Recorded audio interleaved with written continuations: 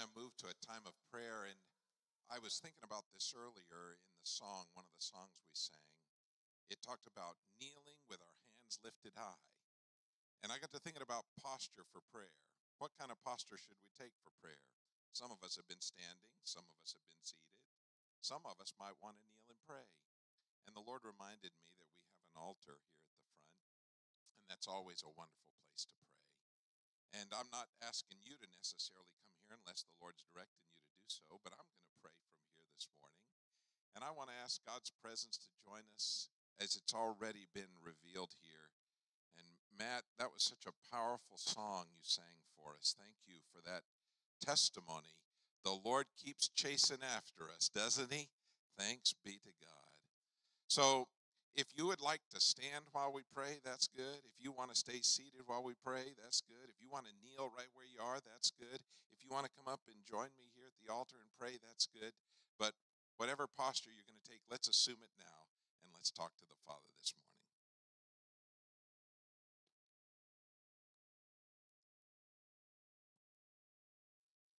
Father God, we're uh, we're reminded in Psalm 103 it says, "Praise the Lord, O my soul; all my inmost being, praise His holy name.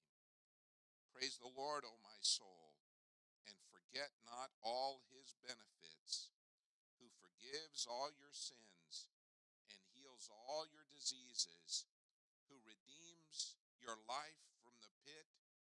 and crowns you with love and compassion, who satisfies your desires with good things, so that your youth is renewed like the eagles. Lord, we acknowledge you as the great God this morning. And as we've gathered here to sing praises to your name and to testify to your goodness at the beginning of 2024, we just want to be reminded one more time of what you already done for us through Jesus on the cross. Thank you, Father, for all that you've done for me. Thank you for what you've done for my family. Thank you, Lord, for what you've done for our church family. Thank you for what you've done through every church and every Christian who has been faithful to the word in this past season. And I pray, Lord, that you would continue to pour out your incredible benefits, your many, many blessings Thank you, Lord, for forgiving our sin and setting us on a pathway of righteousness and holiness.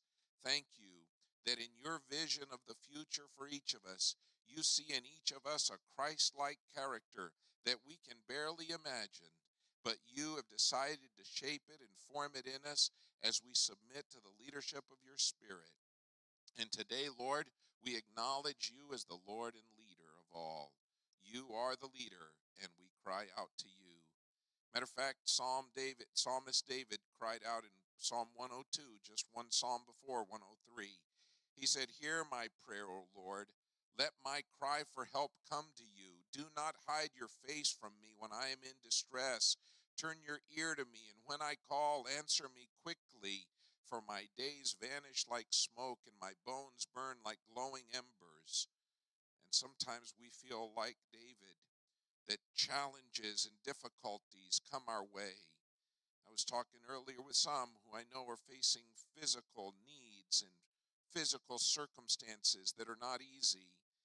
And as I look around the room, I realize some are probably not here due to illness. And so, Father, we lift them up. We ask for your healing touch upon them and that you would provide for the circumstances that are difficult and challenging. Thank you for those you've touched and those you've healed thank you how you've protected us from this renewed season of COVID. And I pray that, Lord, you would continue to guide and direct in that area. We thank you, Lord, that in our distress we can cry out to you and you hear us when we pray. And you've never forgotten us. You always know our zip code. Zip code. You know our cell phone number. You can reach us, and and you do. And thank you, Father, for that. We love you today. We acknowledge your greatness and we come to you with our petitions. So, Lord, we think now about the future and we think about maybe later this day how we'll have opportunity to be witness for you or throughout this next week how we might intentionally reach out to someone who has the need and love for the love of Christ or perhaps you will give us a greater area of ministry that we'd never considered before, or a new challenge or a new opportunity. And so, Lord, as we think about the future, we know one thing. Like a pastor friend of mine used to pray, we want to put our little hand in your big hand, Lord. Please help us to make sure that we're guided by you, guided by your will, directed by your way. Thank you, Lord, for all that you're doing. And we place ourselves completely and powerfully in your hand, for you are God, and we praise you you. Lord, in the remainder of this service, I believe your Spirit's going to speak to me, to all of us, if we'll just be open. So, Lord, I pray that you would use the words of the preacher today to speak into our hearts, to challenge us to live the Christ like life, to surrender if we need to, to confess where we need to, and to be ready to step forward by faith in the joys that you have for us. And for all these things, we pray in Jesus' name. And all God's people said, Amen. Amen. Amen. Pastor Nathan gave me just an opportunity to give a brief greeting. Can I do that still? It's good to see each of you here at Cross Pointe Church. Cheryl and I had a wonderful opportunity to come uh, to be with you today because something else got canceled, so our schedule was open and free, and here we had an opportunity to come and be with you. And when our schedule got changed, it meant we got to get, have our granddaughter with us, and then she said, Can I go to Verity's church? Can I go to Verity's church? So that's been all she's talked about since she's been with us. So uh, praise the Lord for Verity's testimony, right? Huh? And, and all the Coopers too. So we thank the Lord for that. Um, we, we, uh, we are seeing something really remarkable these days on the Virginia district, and I just want to give testimony to God for it. Um, we've seen some really remarkable things, and I, I wish I had this slide that I could show you, but I, I wasn't that, I didn't plan it well enough to be able to tell you, but if you'll listen carefully, I'll describe it carefully, all right? Listen to this. This is numbers reported from our pastors and churches here on the Virginia district. First of all, we asked our churches to make intentional efforts to go into the community. We call it Project Go. And every month we ask churches to report to us ways they've gone into the community to make a difference. We didn't know exactly what that number would be, but we hoped that by the end of a year's time, there would be a report of 1,500 Project Go efforts. That's a lot of Project Go efforts into the community. And where our church year starts the 1st of April, and so from April till now, I've gotten a report from about 70% of the churches. We're still working on 100% reporting. Uh, so we're, we're getting there. But would you like to know how, how many of the 1,500 we've already had reported? Would you like to know? Well, the rest of you, you're going to hear it too, I guess, all right? 1,460. How about that? With about two months or so left to go in the year, two and a half months, we're, we're almost ready to go over our goal. Praise God. That means our churches are not just staying in house, but they're intentionally going into the community. Thanks be to God. We asked churches to report to us how many new leaders they've added. And we set a goal hoping that every church would add at least two, and that would mean the goal would be about 200. We've surpassed this goal like crazy.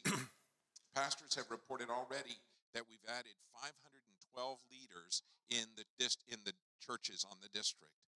How about this? We had a goal of hoping that in our churches we would have during the year 7,500 guests. Actually, the original goal was 5,000, but we revised it because we knew we were going to pass it.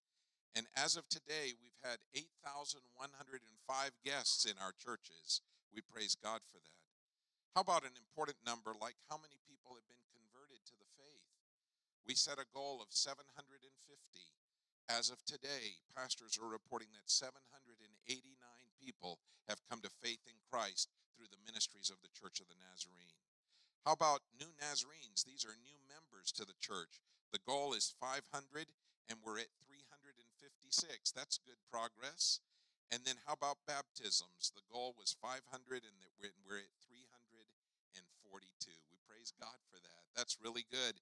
It's amazing, and we have a couple of months left and we believe we'll achieve most, if not all, of these goals. And whatever happens, it's making a difference in their lives for sure. Amen.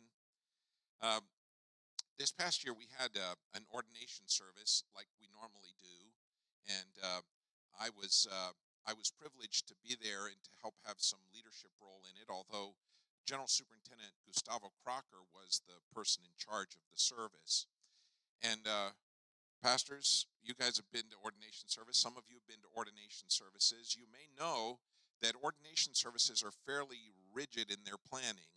In other words, we don't normally add much in them once we get them set and ready to go.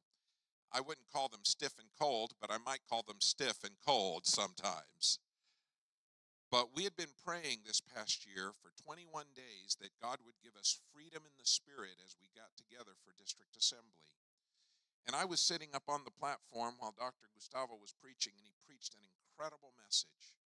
And all the while he's preaching, I'm thinking, there are people that need to go pray at the altar. I hope he gives an altar call. And he got to the end of his message, and then he did this, which I've never heard a general superintendent do before. He said, And now I'm going to invite the district superintendent to come and close in prayer as he sees fit. Which I thought, well, that's my clue. The Spirit is leading. And in the middle of an ordination service, when we never do this, I walked up to the front and I said, I think there's some people who need to pray. And if you'd like to, the altar's open. Within 30 seconds, both areas of the altars, much longer than these areas, were lined with people praying. And I have a picture. This is why I wish I'd gotten these pictures to you. There's a picture of, um, well, of one of the ordinands standing there watching as her husband is praying with somebody. And you can't see who he's praying with, but I did a little investigative research and found out that the ordinand's husband was praying with his brother, his twin brother, who was praying about whether or not God had called him to be a pastor. And this past week, I had lunch with him, and we talked about where he might go and be a pastor in the next few weeks. How about that? Isn't God good? God is so faithful. And I'm glad that we've been a praying people. So, this coming year, we have district assembly again. All the churches will gather, representatives from here will be there, you'll be there, you're invited, everybody can come. But one of the things that's so very important is that we must be people of prayer. And in the next few days, we are going to be inviting you, and I'll get the information to your pastors that they can share with you, into a 21 days of prayer leading right up to our the event we call the Great Gathering. And I want to ask some of you to join us in praying in that area. That's 21 days. You'll have lots of ways to get involved. There'll be a printed uh, booklet, a 21 day prayer guide that you can follow. There'll be an email that you can sign up for so that if you prefer to get it by email, you can get it by email. I think they're even going to make it available by text if we can figure out how to do that too. Or you can just join in a morning Zoom call with Nazarenes from all around the district. Or if you prefer evening, an evening Zoom call. Or if you want to do both, you can do both. And you could be part of a prayer time during those 21 days. And then the last seven days leading up to the great gathering, we're asking the Nazarenes from around the district to join us in praying for 168 hours without stop for the great gathering in the district assembly. 168 hours. Is anybody doing math real quick? How many days is that? A lot. Seven. You got it. 168 hours is one full week. And for one full week, we're hoping to have 24 7 coverage praying for district assembly along five themes. And so that means we're going to need some people to pray at 2 and 3 and 4 in the morning. Hello? And so we're going to have little half hour time slots. Um, some of you are up at two and three in the morning anyway. You ought to sign up for that. I mean, you might you might go to sleep earlier, but you get up then for a little while. So you might as well go ahead and pray, right? And so you could do that. And so we want to ask some of you to sign up. You'll have opportunity to sign up and to get one of those spots. I believe God's going to help us to be a people of prayer, and who knows, who knows what else might happen during the great gathering, right? It might be like Brian whose brother Scott prayed with him, and now he's a pastor or about to be a pastor. You just never know how God is going to work. And just let me say, we love you. We're so grateful to be here with you today. It gave us great joy when our granddaughter this morning said, I get to go to church. I'm so excited. That blesses a grandpa's heart, don't you think? And uh, she was so excited about coming and being here.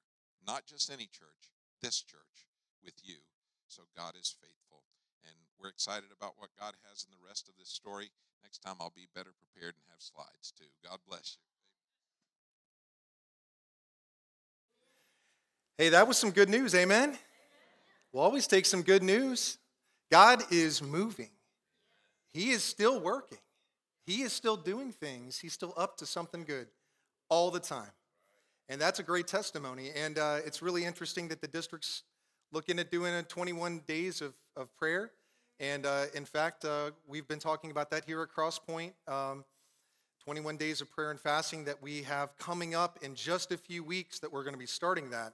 So uh, that just tells me that God is in this.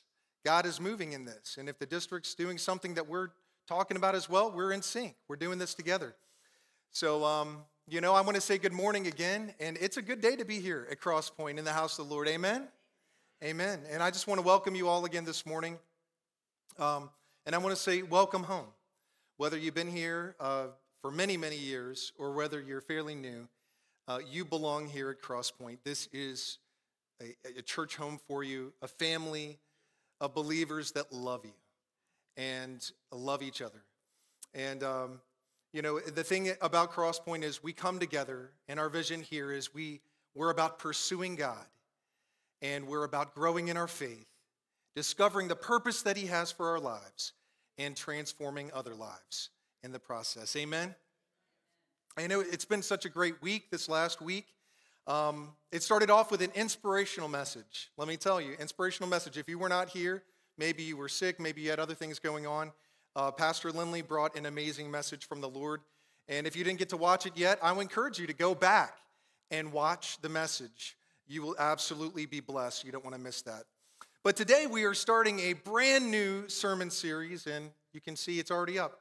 It's called Battle Ready, and it's exactly about what Dr. Fuller was just mentioning. Um, today, we're talking about awakening the warrior within. Awakening the warrior within. And so, this morning, I'm going to be sharing with you what it means to be battle ready in life. We're going to be talking about spiritual warfare, prayer, and fasting, and what it means to awaken the warrior within each of us. So, I want to ask you a question this morning. I think it's an easy one. I think I know the answer. But you got to be really, really honest with me. You promise? Really honest with me. I want to ask you if you knew for certain, I mean, you knew for absolutely sure, without the faintest doubt, that God would answer your prayers, who would pray more? Who would pray more? Right? Let's see those hands. We would, right? I would too. I'm talking about if you have a direct line to your heavenly daddy, right? You pray, he answers. It's almost like a text message response, instant, or voicemail. Who would pray more about everything? Right? Right? That's what we're talking about this morning. Well, let me tell you about somebody who lived life exactly that way. And he lived not so long ago. All right, we're not talking about someone from biblical times. His name is George Mueller and he was born in Prussia in 1805, what is now modern day Germany. He started his life off all wrong. He was a liar, a thief, and a gambler. Let me tell you about his early life. His father was a tax collector, and by 10 years old, he was stealing government money from his dad. At 14, his mother was literally dying. She was literally in her deathbed, passing away, and he was in the other room playing cards and drinking with friends. What came next was like a movie script of a guy who just couldn't get it right. Around age 16, he was living it up, going from one hotel to another, always with a lady by his side, the ultimate playboy. But here's the twist he was flat broke. Flat broke. He was so desperate that he pawned off anything valuable and he left a trail of debt behind him. Well, the law eventually caught up with him, and boom, George Mueller landed in prison. Even there, he couldn't stop spinning tales. He's trying to impress everybody around him. His dad had to bail him out, pay off his debts, and yeah, George got a good old fashioned whooping. Now, you think that straightened him out, right? Come on, you think that straightened him out? Prison, A whooping from his dad? Dodge a bullet because his dad paid off his debts? Nope. George slipped right back into his old ways. Now he's racking up even more debt. He even cooked up a crazy story about getting robbed and played on his friends' sympathies to get cash to pay it off. When they found out, here's George's response Eh, no big deal. He couldn't have cared less. Now, eventually, George, he lands in university and he's studying theology. That's the study of God, of all things. And George and his buddies, they go full on Ocean's 11. They forge papers to fund a wild vacation in Switzerland.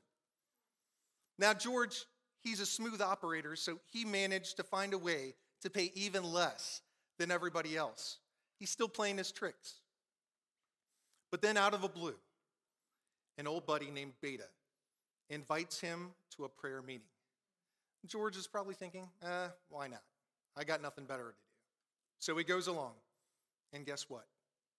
That meeting flipped his world upside down. It was like a light switched on. From that point on, George Mueller started on a path that would make him a legend in the faith community. It's a story of transformation that shows no matter how far off you are from God, there's always a way back. It's all about that moment of truth, that turning point. And for George, it was right there in that prayer meeting. George said about this day, he said, I have no doubt that God began a work of grace in me. Even though I scarcely had any knowledge of who God truly was, that evening was the turning point of my life. He began regularly reading the Bible, discussing Christianity with others at the Bible study. And after seeing a man on his knees, on his knees, isn't that interesting? Praying to God, he was convicted of his need for salvation. He went to his bed, he knelt and prayed and asked God to help him in his life and to bless him wherever he went and to forgive him of his sins.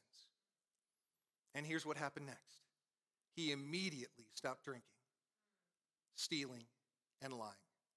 And he began to hope of becoming a missionary. A missionary. Rather than being a comfortable clergyman that his father had envisioned for him, he began preaching regularly in nearby churches.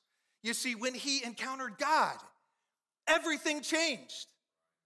Mueller isn't just a name in the history books, he became a force of faith in action. He began to pray about everything, literally everything. After this total life transformation, George Mueller starts to do some seriously epic stuff. He's got his hands in not just one, but four major ministries that are changing lives left and right. But here's what really sets him apart was his work with orphans and how he began to pray about everything. He was a prayer warrior. So I want you to imagine this with me. Imagine this scenario. We're in England, and it's not a happy time for kids without parents. They're either stuck in grim workhouses or they're trying to survive on the streets. Kind of like the kids you'd read about in a Charles Dickens novel. But George, he sees this and he says, Not on my watch. He starts this incredible orphanage in Bristol, England. And it's like a beacon of hope. He's not giving these kids just a roof over their heads, he's feeding them, he's clothing them, and he's making sure they get an education, and he's making sure they know about God. Now, we're talking about a guy who cared for up to 2,000 orphans at one time and over 10,000 throughout his life. That's mind blowing. And here's the truly shocking part Mueller did this, all of this, by leaning into an outrageous. George never put up fundraising posters. He never blasted his needs all over social media. He just took it all to God in prayer.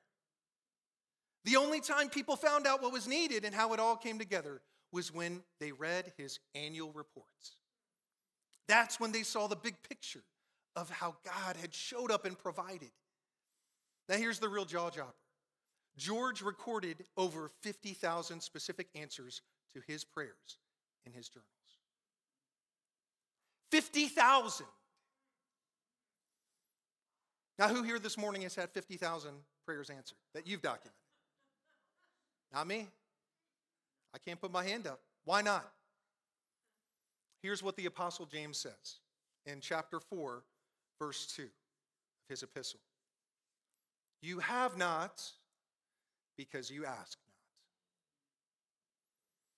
And when what you ask aligns with God's goodness and his divine purposes, when we align our will and our desires to his will and his desires, there is nothing, church, there is nothing that we can ask in Jesus' name to the glory of God that he will not answer.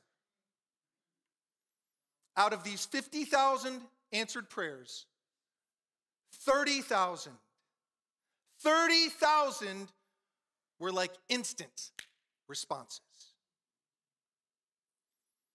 They were answered the same day and oftentimes the same hour that he prayed. That's like God giving the green light to more than one prayer a day, every day, for an entire 60 years.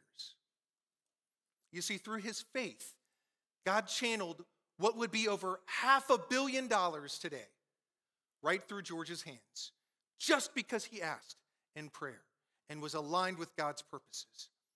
It's like George had a direct line to heaven, showing us all what's possible when you truly believe.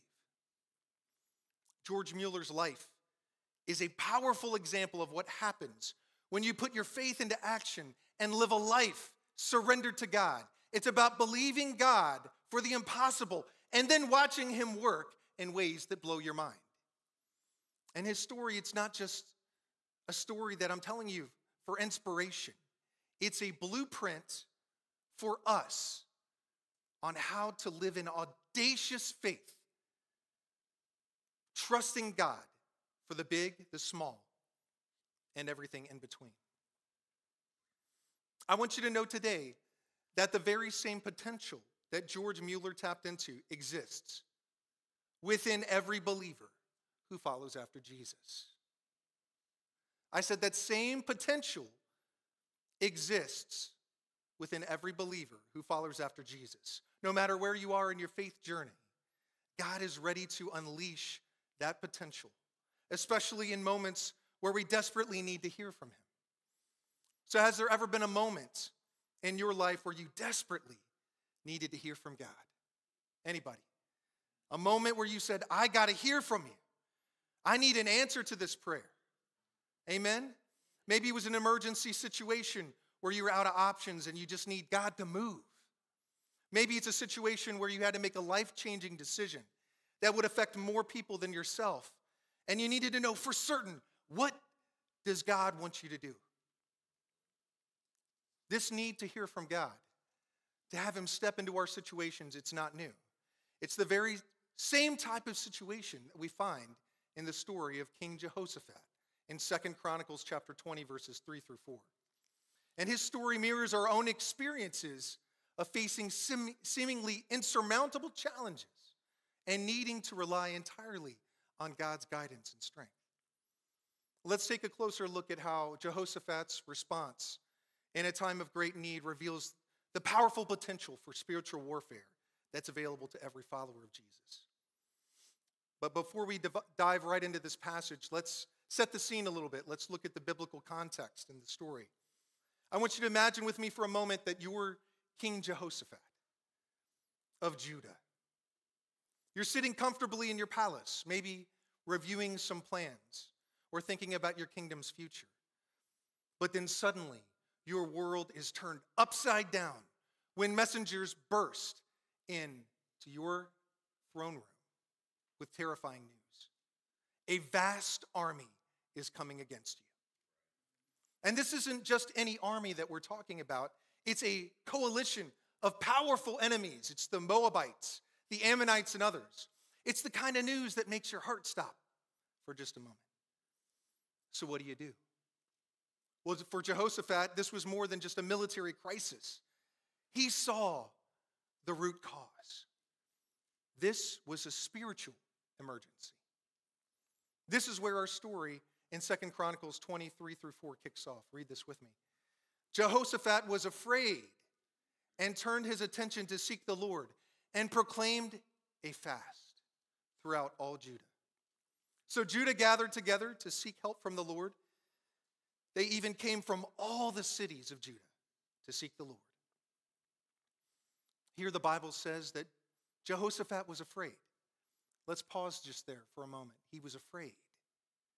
This wasn't a king that's just detached from the emotions that his people felt as well. He was human, just like any of us, feeling the weight of the moment, but also the importance of his very next decision. So here's where things take a turn. Jehoshaphat doesn't let fear have the last word. The scripture says in one translation, he resolved to inquire of the Lord. And in another, he said that he set his face to seek the Lord.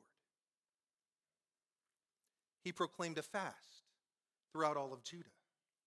This wasn't just a personal moment, it was a national call to action. Jehoshaphat brought his people together, not for war planning, but for prayer and fasting. Picture this the people of Judah from every town gathering in Jerusalem. There's a palpable sense of urgency, but also there's unity. They're unified in this moment. They're not just preparing for battle with swords and shields, they're arming themselves with prayer and fasting. They're seeking God's guidance, His protection, His intervention. And this scene at the temple in Jerusalem is powerful. Jehoshaphat stands before the people, he leads them in prayer and openly acknowledges the nation's powerlessness against the great horde coming against them. It's a raw moment of vulnerability and dependence on God. And Jehoshaphat's his prayer ends with these striking words in verse 12 of the same chapter. He says, We do not know what to do, but our eyes are on you. But our eyes are on you. This is a statement of complete trust and reliance on God, even when the path ahead is clouded in uncertainty. And just like Jehoshaphat, we all face our vast armies. These aren't literal armies for us, but they're overwhelming challenges, fears, and struggles in our daily lives. It could be a personal crisis or a health issue, like we know a lot of, about those recently, right? A broken relationship. It could be financial stress. It could even be deep seated fears about the future. These are our Moabites and Ammonites. They threaten our peace. They loom over us, making us feel powerless and sometimes afraid. But you see, just as Jehoshaphat chose to seek the Lord in that moment, awakening the spiritual warrior within, we must awaken our spiritual senses in order to awaken the spiritual warrior within each of us if we want victory when we face our own trials. If we don't, do nothing. Now, there are four steps to awakening our spiritual senses. The first step is the reality of spiritual warfare. The reality of spiritual warfare. I want you to imagine for a moment that you're wearing a blindfold. You can't see anything, it's completely dark. And you're in a room filled with obstacles. You're trying to navigate through, but you keep bumping into everything. You trip, you fall down. You try to get back up, but you lose your balance. This is life without an awareness of spiritual warfare.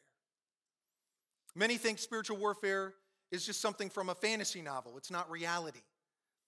But the Bible paints a different picture. It is a real, ongoing battle, not against flesh and blood, but against spiritual forces. According to Ephesians chapter 6 verse 12, it's happening all around us, whether we acknowledge it or not. Let's address some common misconceptions about spiritual warfare. Here's the first myth oh, spiritual warfare is only for the spiritually elite. You know, those super spiritual folks. Not for me. The reality is that every believer is in this battle. You're already in it. It's not reserved for pastors or super spiritual people, it is a daily reality for every Christian. The second myth is that spiritual warfare is always dramatic and visible. You just see it everywhere. But often it's subtle in the lies that we believe. And there's a lot of that going on. The fears that paralyze us, the conflicts that arise in relationships. It's in the daily decisions where we either give ground to God or the enemy in our life. Understanding this reality is the first step in awakening our spiritual senses. It's time to take off the blindfold and see the battle for what it is. The second step is the power of prayer. Listen, prayer is not just some religious ritual. This is our primary weapon in this unseen battle. The battle we're already all in. Think of this as a walkie talkie in the war zone of life. It's how we communicate with our commander, seeking his guidance and strength. It's about connecting with God. Prayer is where we pour out our hearts to God, where we receive his peace and his presence in return. It's about asserting authority. You see, in Christ, we have authority over the enemy's schemes. Luke chapter 10, verse 19. When we pray, we're not just whispering wishes into the wind, we're exercising our God given authority to push back the darkness. Prayer is where fear loses its grip and faith takes its stand. It's where we align with God's will and his power is unleashed in our lives. The third step is the role of fasting. Oh, that's a dirty word to some people. fasting is often misunderstood and underutilized. Listen, it's not a spiritual hunger strike or a method to twist God's arm. Fasting is voluntarily giving up something, often food, to tune into God's frequency more clearly. It's about humility and submission. Fasting is a way of saying, God, you are more important than my physical desires. It's a posture of humility and submission before the God of creation, the one who, who made us, who loves us. Fasting is about sharpening the spiritual senses. When we fast, our spiritual senses are heightened. We become more attuned to God's voice, more aware of His presence, and more sensitive to His leading. Fasting isn't about getting from God, but getting to God. I'm going to say that again. Fasting isn't about getting from God, it is about getting to God. It's about clearing the clutter in our lives to make room for more of Him. We all need that. Step four, the synergy of prayer and fasting. You see, when prayer and fasting are combined, they create a spiritual synergy, a power that exceeds their individual effects alone. It's like combining two potent ingredients into a powerful medicine. We have some biblical examples of fasting. Just look at Jesus in the wilderness in Matthew chapter 4. Before beginning his public ministry, he fasted and he prayed preparing himself for, for what was to come. And his victory in the wilderness set the stage for his powerful ministry. We have modern examples of prayer and fasting. We already talked about George Mueller, you know him. He fasted on a regular basis as he sought answers from the Lord. And we already know what happened when he prayed and fasted 50,000 answered prayers. What would you do with 50,000 answered prayers? 50,000. John Wesley, one of the primary leaders through which we trace our spiritual heritage, was a strong advocate for regular prayer and fasting. He integrated these disciplines deeply into his personal life and encouraged them among his followers. Wesley fasted and prayed regularly on Wednesdays and Fridays. And he believed that prayer and fasting were essential means of grace. What that means is they are tools for spiritual growth and development. First, he said that they increased his spiritual strength and focus. He said that prayer and fasting helped to sharpen his focus on God in spiritual matters. And these practices helped to reduce the distractions of the world and the flesh, and they allowed him to concentrate more fully on his relationship with God. Second, regular prayer and fasting enhanced his ability to discern God's will. We all need to know what God is saying to us. Amen? He was more attuned to the Holy Spirit and better able to understand and interpret God's direction for his life and ministry when he was praying and fasting. Wesley also said that prayer and fasting contributed to the effectiveness of his ministry. He observed more powerful preaching, a deeper impact on his listeners, and greater success in his evangelistic efforts. Wesley also said uh, that it was part of his strong emphasis on personal holiness. He, he viewed prayer and fasting as key disciplines in the process of our journey in becoming more like Christ, and we call that sanctification. Wesley also believed in the power of prayer and fasting for intercession, for prayer, for standing in the gap for our friends and our family and our church family.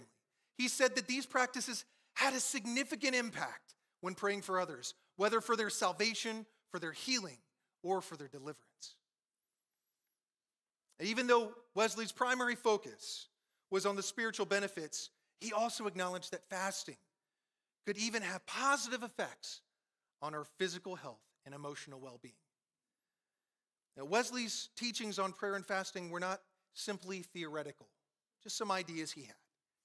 They were born out of his own deep personal experiences and practice. Wesley's approach to prayer and fasting was integral to the revivals of his day and the First Great Awakening, with its emphasis on personal piety and devotion to God. But let me tell you, why does any of this matter?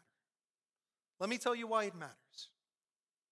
You see, prayer connects us to God, and fasting disconnects us from the world. I'm going to tell you, some people, we need to be disconnected from the world. We need to be more connected to God and His will for our lives. Together, these position us to experience God's power and breakthroughs in ways that we could never experience on our own. It's not about earning God's favor, it's about preparing our hearts to receive what He already wants to give us. I want you to think about prayer and fasting in this way. Imagine them as two wings of a bird. A bird really struggles with flying with one wing, don't you think? But each although they're powerful on their own, just like a wing of a bird. Together, they enable us to soar to new spiritual heights. And when we combine these disciplines, we create an environment where miracles can happen. Who wants to see a miracle? Who wants to see a miracle in our lives? It creates an environment where chains are broken and where our faith is elevated to new levels. When we fast and pray, we're not just going through a spiritual exercise. We're entering a deeper level of trust in God. We're saying, God, I trust you so much that I'm willing to forego my physical comfort to seek you more earnestly. It's in these moments of deepened faith and a heightened spiritual focus that breakthroughs often occur. We hear report after report of breakthroughs when, when folks are praying and fasting. And it's also when heightened spiritual focus uh, brings to us uh, a breakthrough in spiritual struggles, helps us find direction in our lives and even in physical and emotional healing. When we deny our physical selves through fasting, we are not just weakening our bodies. I know we think about that. Gosh, how am I going to get through the day if I'm fasting?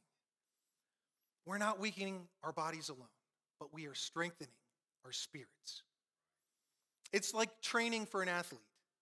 I mean, once they run a race over and over and over, it's harder at first as you're training, but then it gets easier and easier. And the more that we practice these disciplines, the stronger we become, not physically, but spiritually, in our spiritual lives.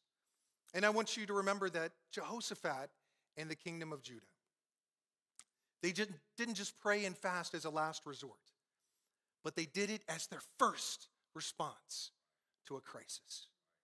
And he saw it for what it was. He saw the spiritual world involved in this. He knew that this was not just a physical attack, this is something in this spiritual realm where he needed to seek God. And that was the first response. And so in our lives, when we're facing challenging armies, whether they be challenges, decisions, or spiritual battles, our first response should be to turn to prayer and fasting. And so I want to challenge you this week to consider what your vast armies might be in your own life and write it down. Or you could write down at least one area in your life where you really just need a breakthrough, where you really need God to intervene, where you really need an answer. And I want you to begin preparing yourself to face them. These challenges and these vast armies. I want you to prepare yourself to face them through prayer and fasting in the upcoming weeks. And see, God is with you, and He will guide you to the victory. But we have only but to ask. And so later in this series, we're going to have the opportunity to pray and fast together because we are not alone in this journey. Amen? As we do this, I want you, listen, I want you to expect an answer. As you pray and fast, expect an answer. Expect God's guidance. Expect His strength in that area where you need a breakthrough. And just as the people of Judah came together, we can support each other in prayer and fasting. And so I want to challenge you also to share your experiences and to pray for one another. I mean, our church is a praying church. I love that about Cross Pointe. Continue in that. Pray for each other and share the experiences when God answers those prayers. Don't keep it to yourself. That's a testimony that we all need to hear. You see, we need to be a community of spiritual warriors if we ever want to see Cross Pointe make the greatest impact that we can for the kingdom of God. We have to be awakening our spiritual senses through prayer and fasting. And that's not about following a religious formula, it's about entering a deeper relationship with God. It's about recognizing the spiritual warfare around us and choosing to stand firm, armed with the powerful weapons of prayer and fasting. And as we embark on this journey, let's expect to see God move in our lives in extraordinary ways. I want to share one more gem with you this morning. I really want you to hear this. Pay close attention to this. You see, there's a secret about George Mueller. I mean, it's a powerful story, but there's a secret about him. You see, even though he was known for his profound faith. He initially struggled with prayer. Can you believe that? He struggled with prayer. Same man, 50,000 answered prayers, 30,000 almost instantly, but he struggled with prayer. See, for the first 10 years of his journey in trusting God and witnessing amazing answers to prayer, he found it challenging to really engage in prayer. His mornings were dedicated to prayer. But often he spent long stretches, sometimes up to an hour, just trying to connect, to really feel the presence of God. He realized that something had to change. So he made this completely pivotal shift in his approach. Instead of diving straight into prayer first thing in the morning, he began nourishing his heart with the truths of Scripture. And he experienced a dramatic effect from this decision. You already know what the effect was. You see, engaging with the Word of God first, especially the promises that God makes to us, he found himself entering into a more authentic and meaningful conversation with God about the things that he had said in his Word. There was no longer a struggle to focus with the Lord in prayer. It was about now a genuine conversation with his father and friend. And so, as he began engaging with Scripture and then letting it guide his conversations with God, it totally transformed his prayer life. Our own prayer life can be transformed in the same way. See, sometimes the key to a deeper connection with God isn't more effort, maybe more prayers, but it's a change in how we approach Him. And the truth is, no matter where we are in our spiritual journey, whether it's been a few years we're following Him or most of our lives, there's always room for growth and a deeper, more meaningful relationship with God. So I want to ask you this morning what is God speaking to your heart today?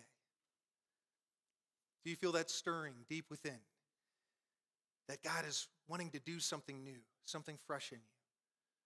Don't ignore it. Maybe you're here, you've been wrestling with doubts. You're wondering if God is truly listening to your prayers, if He really hears you when you call out to Him. But let me assure you, He is listening, and He does hear you, and He does answer prayer. Maybe some of you are facing your own vast armies, challenges that seem insurmountable, fears that keep you awake at night, struggles that you just can't seem to overcome. Remember Jehoshaphat's story when faced with an overwhelming force, his first response was to seek the Lord, to proclaim a fast, and to pray. And this wasn't just a personal act, it was a collective move of faith for the whole community. In our battles, whether personal, relational, financial, spiritual, our first call is to turn our faces to God in prayer and fasting. Let's bow our heads and turn our hearts to God in prayer this morning. Heavenly Father, we come before you today acknowledging that sometimes we feel overwhelmed by the challenges we face. But Lord, we take comfort in knowing that you are with us, that you hear our prayers, and that you respond to our cries.